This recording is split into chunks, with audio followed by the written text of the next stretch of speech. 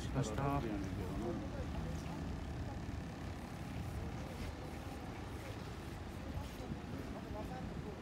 言い方違うと思うねいやーまだ50代ちゃいますかね。ち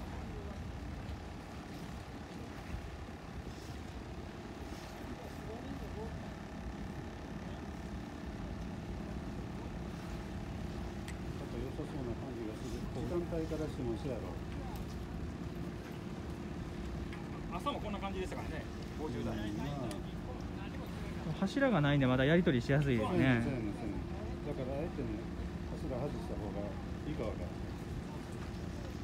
柱と巻かれますもんね絶対。感じだと。これやったら大丈夫やから。中でかいの違うかな思うねんけど。いやー。朝の50代もこんな感じでしたからね。あそこそこある。あるあるある。ある行きます行きます。